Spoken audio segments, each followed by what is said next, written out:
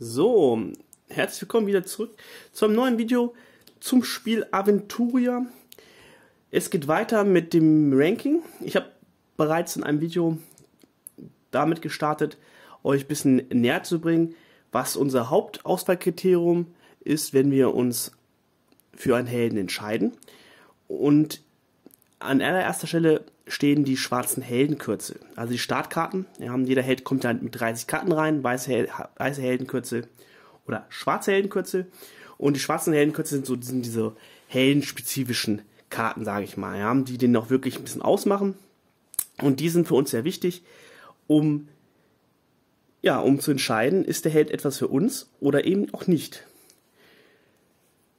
Da habe ich jetzt 6 und 5 äh, meine Plätze schon bereits präsentiert. In diesem Video geht es mit Platz 4 weiter.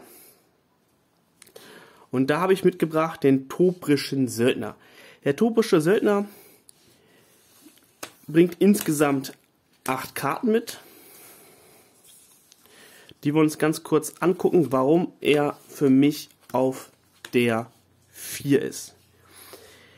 Was ich an dem Spiel sehr mag, ist, dass es eben auch Helden gibt, die eine bestimmte Richtung einschlagen können. Das bedeutet, sie fokussieren sich auf eine bestimmte Art von Angriffsart oder von auf einen Kartentypen mm, oder einen bestimmten Effekt. Und der tropische Söldner, der möchte gerne viel mit Lebenverlust arbeiten. Also seine Startkarten haben ja viel damit zu tun, dass der Gegner erstmal Leben verliert und das müssen nicht unbedingt Angriffe sein. Schauen wir uns einfach mal die Karte an hier. Umreißen, Flavortechnik total, total gut gemacht. Kostet 2 ist ein Vorteil, also hier keine freie Aktion. Muss man im eigenen Zug spielen. Dann würfelt man 2w6. Und dann ist es so, dass ich jetzt aussuchen darf, welcher Schaden jetzt der Gegner bekommt und welcher, wie viel Schaden ich selbst bekomme. Ja, man rangelt, der eine, beide fallen hin, der eine fällt vielleicht auf den Stein, der andere hat vielleicht Glück gehabt. Und Gegner heißt aber auch eben auch Anführer, also nicht nur Scherge, was gut ist. Und dann sage ich hier, der Anführer bekommt 5, ich bekomme 2. Ist halt immer auch mit ähm, selber, selbigen Leben verloren, äh, verbunden. Aber die Karte ist dennoch gut, denn, wie ich mich auch immer gerne wiederhole, Leben verlieren ist kein Angriff, geht also durch Rüstung und Ausweichwürfe werden nicht gewürfelt. Davon bringt gleich zwei mit. Seine vielleicht stärkste Karte ist die Schwäche ausnutzen. Verliert ein Gegner durch einen deiner Fernkampfangriffe Leben, darfst du eine Karte von deinem Zugstapel ziehen. Also Karten ziehen ist sowieso immer gut. Und der Effekt ist einfach, ja, wenn man trifft, wird man noch doppelt belohnt. Kostet zwar drei, aber Karten ziehen ist immer gut. Dann haben wir hier eine Karte, die ist ja auch, so sage ich mal, ein bisschen uniker. Kostet 4, oder unique, kostet 4. Du darfst einmal in deinem Zug eine deiner Handkarten ablegen, ablegen und dein Gegner deiner Wahl verliert 3 Leben. Also hier wieder auch eine Karte. Ist eine permanente Karte, die bleibt im Spiel für 4. Kostet halt so ein bisschen. Aber später im Spiel zieht man auch gerne auch Karten, die jetzt, die man vielleicht nicht mehr braucht. Zum Beispiel hat man jetzt die dritte Nahkampfwaffe auf der Hand, oder? Ähm, ja, oder irgendeine Karte, die am Anfang des Spiels mehr macht, zum Beispiel das Zechen, ja, zum Beispiel so eine Karte hier, die am Anfang des Spiels deutlich besser ist als am Ende des Spiels. Und die kann man dann einfach sagen, ich schmeiß die hier rein. Und dann verliert der Gegner, also auch wieder Anführer, drei Leben. Das heißt also, mit der Karte kann man immer, immer sicher drei Lebensabzug durchbringen. Es sei denn, auf dem Gegner steht irgendwas, dass man das nicht darf. Ja, gibt da vielleicht so den einen oder anderen, aber ganz selten. Das gefällt mir auch gut. Kann nicht geblockt werden, kommt immer durch. Ja, dann hat er diesen, diesen, dieses Schildthema hat er auch noch mit drinne. Im Abenteuer heißt es, benutzt du den Rüstungsschutz eines Schildes, flieht der angreifende Scherge Leben in Höhe des Rüstungsschutzes. Also ähm, jeder, jede Rüstung, die man hat, die dann für Rüstung getappt wird, wenn ich jetzt also fünf Schaden bekomme, ich blocke drei ab und ich habe diese Karte im Spiel, bekommt mein Angreifer auch noch drei Lebensverlust, den er halt nicht, auch nicht wegblocken kann. Immer das ist dieses, es geht direkt durch. Das, das ist so ein, eine Teilthematik bei dem ähm, Helden. Die Karte kostet auch noch eins. bei dem hier macht es dann auch Spaß, auch Rüstungen noch zu spielen, vor allen Dingen, wenn man die draußen hat. Das sind alles hier auch permanente Effekte. Genau, und ansonsten haben wir hier noch den, ähm, die Schlagabfolge. Bestimme einen Gegner und lege maximal fünf Nahkampfproben ab, bis dir die erste misslingt. Durch jede gelungene Probe verliert der Gegner zwei Leben. Diese Proben ziehen nicht als Angriff. Die ist recht teuer. Da muss man sich natürlich überlegen, wann man sie spielt. Klar, man zahlt vier. Und wenn man einen hohen Nahkampf-Angriffswurf hat, dann wird die natürlich besser. Ansonsten, klar, wenn man es zum ersten Mal schon nicht schafft, dann zahlt man vier für gar nichts. Und man darf sie auch mit Schicksalsaugen, darf man diese Karte auch nicht neu würfeln lassen, denn es ist kein Angriff. Also die gilt schon eher zu der schwächeren Kategorie. Und das ist vielleicht die schwächste Karte und alle anderen Karten sind gut. Gucken wir uns nochmal den Rundumschlag an, der einfach aussagt, ein Gegner deiner Wahl verliert vier Leben, alle an ihm angrenzenden Gegner verlieren zwei Leben.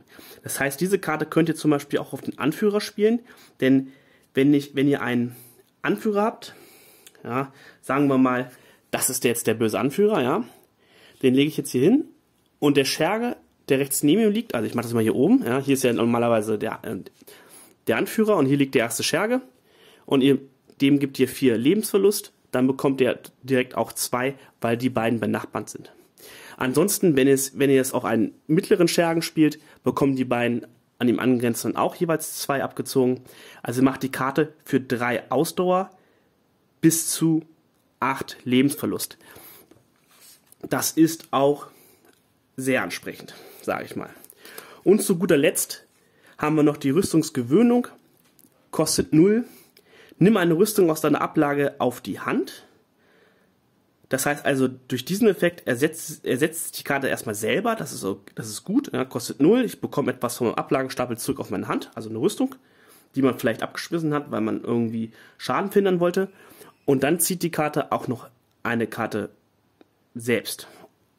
Und wenn ihr den oberen Effekt nicht machen könnt, weil ihr keine Rüstung habt, dann ist es nicht so schlimm, denn ihr zieht trotzdem die Karte.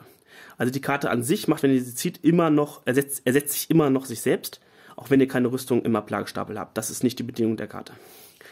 Okay, also Karten ziehen tut ihr mit der Karte immer. Gut, das war jetzt der topische Söldner. Der hat also auch sehr starke Karten. Das war jetzt meine 4. Machen wir gleich, ohne zu zögern, weiter auf der 3. Habe ich mich entschieden für. Ah, wo habe ich sie jetzt hingelegt? Für die Katzenhexe. Die Katzenhexe hat auch so eine Art Thema, kann man es fast sagen. Ja, die Katzenhexe hat das Thema Schicksalsaugen. Wenn sie in irgendeiner Weise Schicksalsaugen bekommt, dann macht sie damit was oder kann sie was damit machen. Schicksalsaugen sind an sich ja immer schon ein sehr, eine sehr starke Komponente, wird durch diesen Charakter jetzt auch einfach noch besser. Schauen wir uns einfach mal an.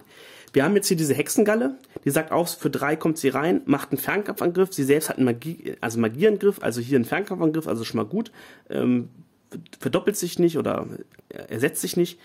Und wenn der Gegner durch diesen ähm, durch die Gegner durch diese Waffe Leben verliert, dann darf ich mir so ein Schicksalsauge nehmen. Also hier treffen ist und Schaden äh, machen ist bei der Karte also doppelt gut, weil man dann noch sowas bekommt. Also das ist schon sehr, sehr, sehr, sehr toll. Dann haben wir hier diese Jagernuss für 0. Wenn ich die Karte ablege, darf ich zu, zu Beginn meines Zuges zwei Ausdauer halten. Das heißt, wenn ich sie in der ersten Runde spiele, kann ich sie noch nicht opfern, denn hier steht ja zu Beginn deines nächsten Zuges. Das heißt, diese Karte macht immer erst im nächsten Zug was, aber dann generiert sie zwei Ausdauer. Und Ausdauer generieren ist immer gut. Und ja, mehr muss ich dazu nicht sagen, starke Karte. Dann haben wir den nächsten Kessel. Da muss ich mal mit Magie Pro machen. Wenn die nicht klappt, hat man Pech gehabt. Aber wenn sie klappt, dann darf ich hier sowas ablegen. Und ich ein, ein, um mein Leben zu bezahlen, und ganze drei Karten zu ziehen. Karten ziehen ist immer gut in dem Spiel. Das Ganze kostet zwei.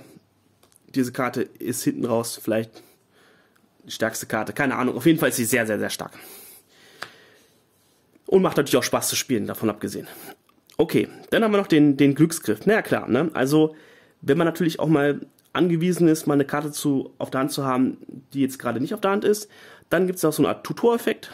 Heißt, man darf sich was raussuchen, vereins, durchsuche dann Zugstapel durchsuche deinen Zugstapel und nehme eine Karte davon auf die Hand, mische den Stapel anschließen. Also hier für eins nochmal ein Effekt.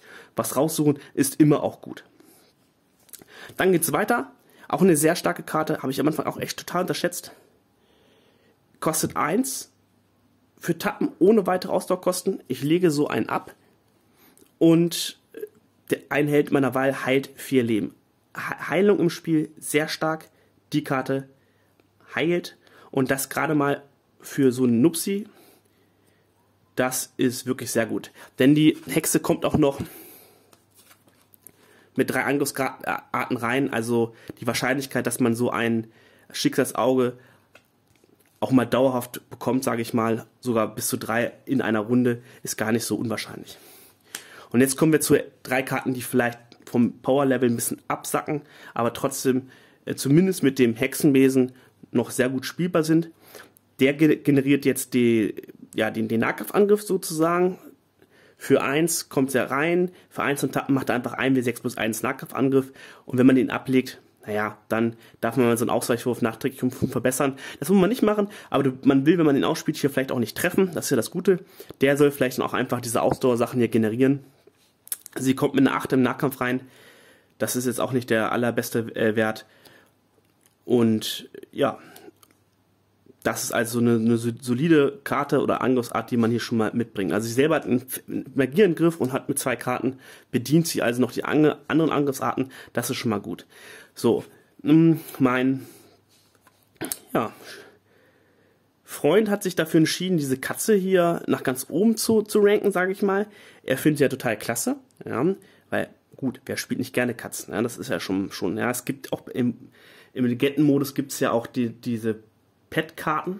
Da steht unten ein Begleiter, hier steht Ausrüstung. Habe ich leider noch nie gehabt, hätte ich gerne mal gehabt. Aber dafür bringt jetzt die Bornensche Katzenhexe jetzt diese Alvinia mit.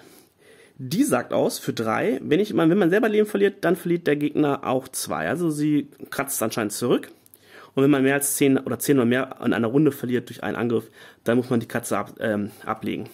Ja, es wäre jetzt für mich jetzt nicht der, der allergrößte oder stärkste Pick, wenn ich jetzt mir von diesen Karten hier aussuchen dürfte, wäre das jetzt nicht meine Nummer eins.